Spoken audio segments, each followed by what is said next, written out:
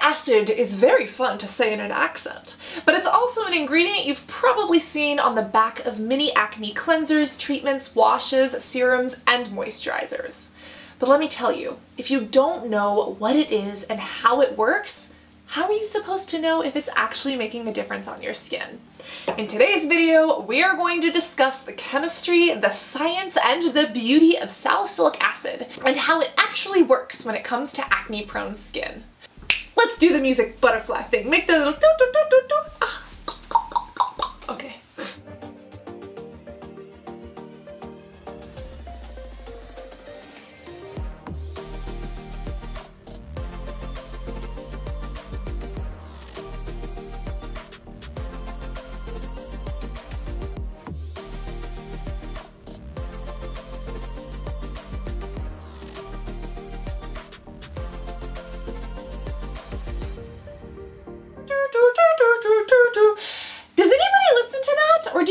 fast forward it? I sincerely hope that you listen to it and that you have a dance off every single time. Somebody choreograph that for us. Anyways, today we are going to talk about salicylic acid. And as you can see, I am excited or just caffeinated. It's 2 a.m. I really have a history with acne and salicylic acid was on so many of my products, but it wasn't until maybe three to five years ago I actually took the time to understand what it was and how it works. And today I'm going to give you the information that I wish I had so that you can figure out what this ingredient does and whether or not it's worth your money and worth the space on your face. Oh, I'm feeling sassy today. So what does salicylic acid do and who is it helpful for? Salicylic acid is usually put into acne products and it's helpful for acne prone skin, but some people have oily skin with no acne and they can benefit greatly from salicylic acid as well because of its ability to break down and stop that oil. Salicylic acid can also be used in the removal of warts, maybe even some skin tags, because it does help to break down the top layer of the skin and therefore help things exfoliate off. It is a BHA, meaning a beta hydroxy acid. So it's an acid, and because it's beta hydroxy, it is fat soluble. Remember, the oils in our skin are fats, so it's soluble within our skin, which means it can actually do some fun work. And by virtue, it is an exfoliant. So it does help to remove those top layers of the skin. Now, is there anybody who shouldn't use salicylic acid? The answer is pretty much no. Salicylic acid is generally regarded as safe. It is a compound that is found in nature or it can be lab synthesized and there really aren't any usage restrictions. Depending on how much of it you use, it could cause some sensitivity. So if you do have super sensitive skin, you might want to be aware of that. If you are on skin thinners, whether it's a topical product or an oral medication, you don't want to overexpose yourself to the sun. So by virtue of using an exfoliating product along with whatever is thinning your skin might not be good, but for most people, it's totally fine, which is why it's such a great option to treat acne. Now, how does salicylic acid work? This is where it gets fun. Salicylic acid mainly does two things. It breaks up oil and it helps to exfoliate the skin, the top layer, that stratum corneum that we learned about in lesson number two. And if you haven't watched those other skin science episodes and you're new here, we've got multiple weeks of learning for you to explore. What are you waiting for? Said Gwen Stefani. Now remember that acne is made up of four main building blocks, the oil, the plug, the inflammation, and the bacteria. Salicylic acid works on two of those, the block and the oil. And it might be slightly anti-inflammatory, so it might work on three, which is why a lot of people use it in acne-prone skincare and why it is highly recommended and efficacious as proved by science. But what is the scientific method of action? This is where it gets really fun. When salicylic acid is applied topically to the skin, it penetrates into the epidermis and it actually loosens up the oil or that glue, helping skin cells come off. Now, salicylic acid was originally thought to be keratolytic.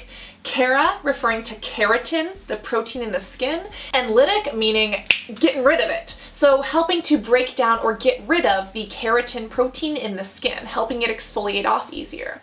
But there have been some new scientific studies that have actually shown it works differently.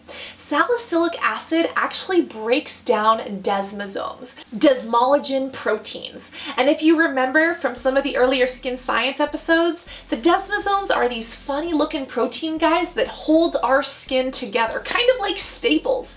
It's why our skin doesn't slip around and totally fly off in different directions. Salicylic acid does break those down very carefully so that the very top layer of the stratum corneum can come off. This is great for people with acne to get rid of that plug. And because it also works on the oil and a little bit of that inflammation, it is a double whammy. Most salicylic acid that you can find in products is over the counter at around 2 to 2.5%. But if you do go to a doctor or to an esthetician, you could get a salicylic acid peel. You could get a peel that is a Jessner peel that has salicylic acid in it, or you could get higher percentages of salicylic acid. The higher the percentage, the more concentration there's going to be.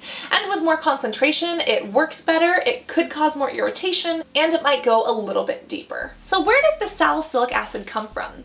It actually is found in nature, but it can also be made in a laboratory.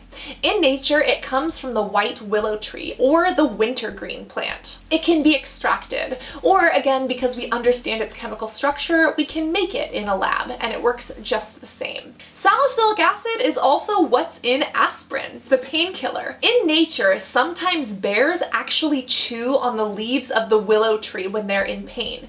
People started questioning why bears were doing this, and then they realized that those willow leaves and the bark actually had properties that killed pain.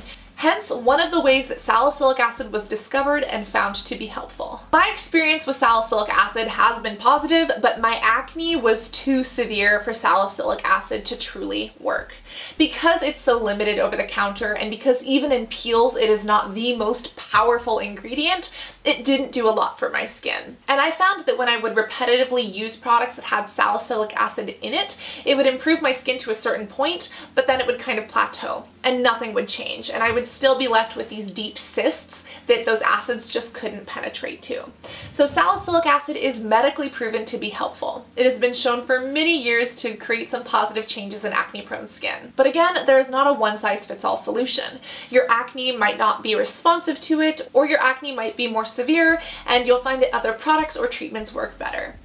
But at the end of the day, this is how salicylic acid works. And now that you understand, you have a better knowledge when it comes to reading your labels and knowing what will or won't work for your skin. I'll leave some recommendations for salicylic acid products that I personally trust, but remember that there are other ingredients you can mix into your skincare that can make them work better for you or that can make them absolutely useless. If you forgot what those are, watch the other skin science video. So it's time to get friendly with your skincare, to understand how it works for you so that you can make it do what you want it to. Every single week at 11 a.m. we have a new episode that discusses the chemistry of our cosmetics, the biology of beauty, and the science of our skincare. So go ahead and use your motor neurons to tickle that like button and the subscribe and the notification bell so you don't miss it every single week when it comes out. Even mark it on your calendar or have Siri or Bixby do it for you. I will see you next Saturday at 11 a.m. right here to get empowered by your education. And in the meantime, remember to be beautiful. Stay hydrated and I'll see you next week on Skin Science.